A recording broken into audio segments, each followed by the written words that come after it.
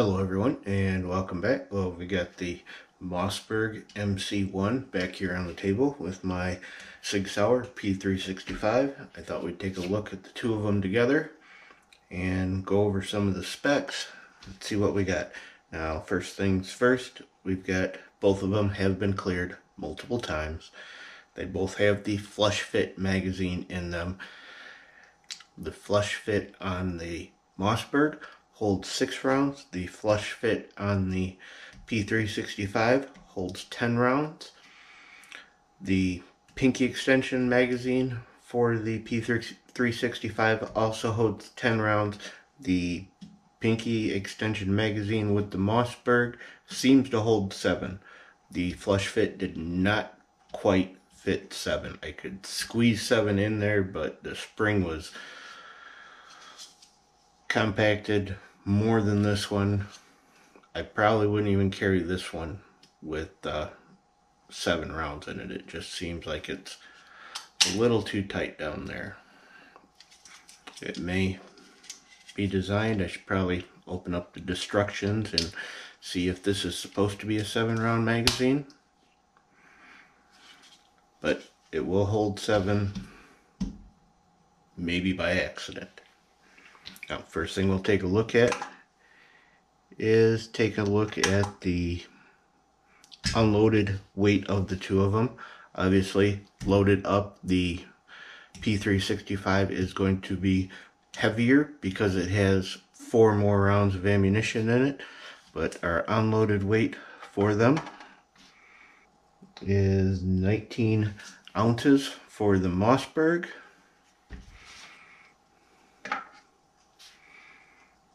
And we have 18.5 for the P365.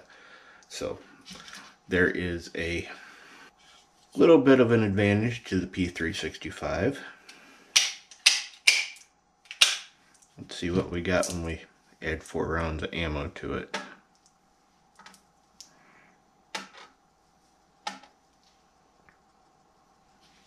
Alright, so with four rounds of ammo extra, looks like you're gonna gain about an ounce over what the Mossberg would would weigh. But it's also four extra rounds of ammo. So there we go. We've got the weight of the two of them. You take a look at them side by side here and the back of them are lined up. You can see that the Mossberg is a little bit longer. I'd say about half an inch there. They're sitting both on their flush mount base plate. They're both about the same height, which is fairly impressive as as tiny as this uh, P365 is. If you look at them the grips though, at Mossberg, even with the single stack grip, is a lot bigger than this P365 grip. Unless you got uh, your trigger guard is a little bit lower and it's a little bit thicker, wider on the grip here. So take a look at them. Now Springfield, I'm going to go down to your widest point, which is going to be your slide lock here.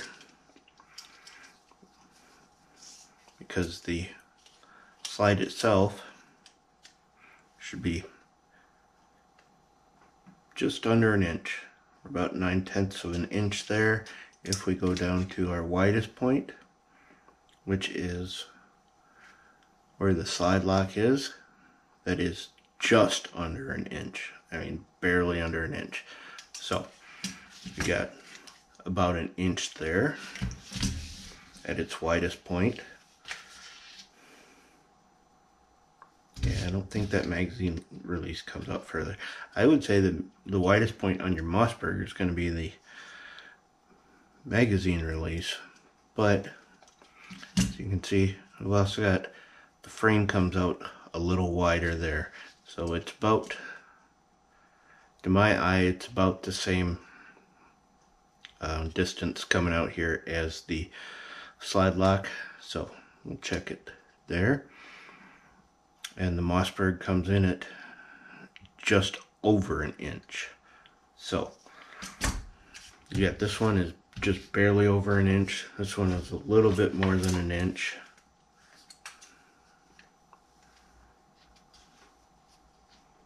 Yeah, it's going to be a little bit, a little bit less if you come down here to the to the grip. So the slide is the widest point on this.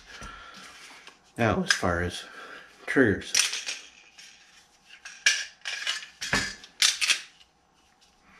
Mossberg has a flat trigger. It's got a good break on it. It's got a fairly short reset. Nice and audible. And you don't have much take up on it after reset. P365 doesn't have quite as much take up. And it's got a little bit longer reset on it. It's still very tactile. Definitely you're going to know that it's reset as well as you're going to know any gun in the middle of a firefight. But there is to come out there is no take up again after it resets. It is right there on the break. So let's take a look at the uh, trigger weight on them.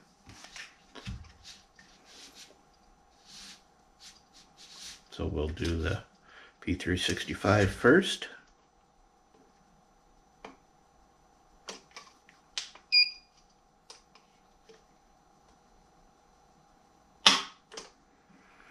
Got about seven pounds.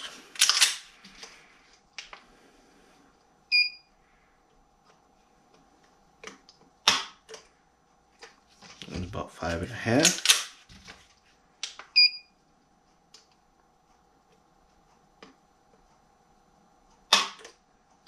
About six and a half.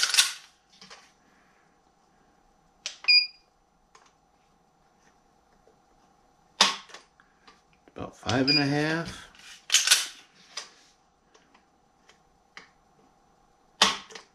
About five and a half there.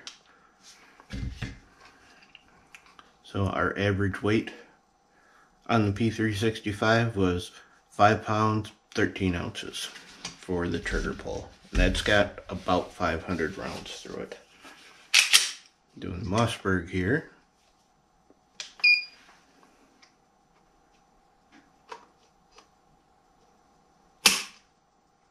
About five and a half.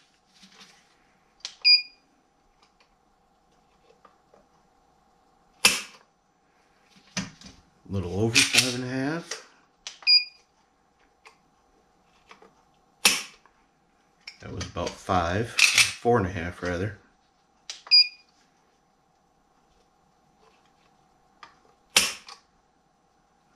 That was about four.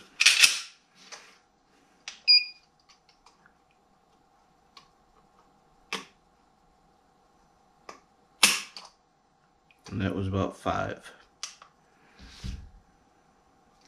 So our average for the Mossberg was four pounds, 14 ounces. So that is about a pound lighter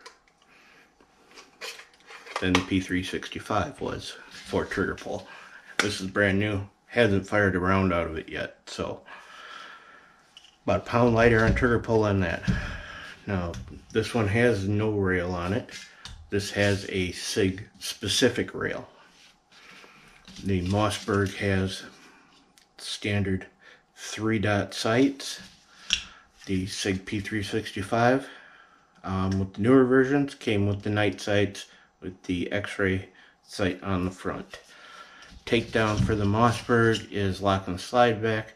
Push this button, pull your uh, rear plate off the slide, pull the striker out, and then release the slide lock and the slide comes off. The SIG, lock it back, turn your takedown lever, unlock, it comes off. Don't pull the trigger on this one either. I prefer this takedown. That's kind of a pain in the ass. Captured guide rod here, captured guide rod there, barrel side, etc. P365, put it back together, run it back, and it flips your slide lever or your uh, takedown lever back up. Now I have had an issue. Sometimes this will turn when you've got it apart and then you have to play with it and get it back so that you can put it back together. It's not a big deal. It's just can be a pain in the ass if this turns on you once it's apart. But there is the Mossberg MC1 versus the P365. I would still prefer the P365 because it's got, even though it's a proprietary rail, it's still got a rail on it so you can get the light or the laser from SIG if you want it. This has the night sights, has four more rounds. Mossberg has a nice trigger. Uh, trigger was a little lighter. It's also got the trigger dingus on it if you feel you need that and it's got a flat trigger if you really want the flat trigger. And it's considerably cheaper than this.